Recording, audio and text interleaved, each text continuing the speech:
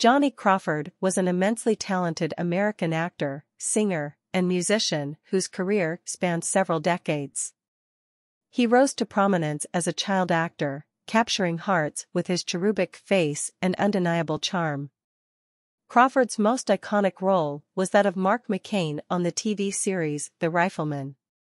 As the son of the show's lead character, played by Chuck Connors, Crawford showcased his acting abilities and captivated audiences with his portrayal of the courageous and kind-hearted young boy.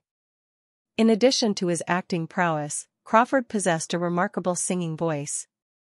He embarked on a successful music career, releasing several albums and even earning a Grammy nomination for his work.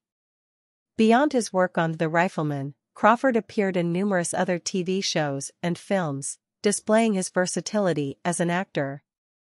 He brought depth and authenticity to every character he portrayed, leaving a lasting impression on viewers.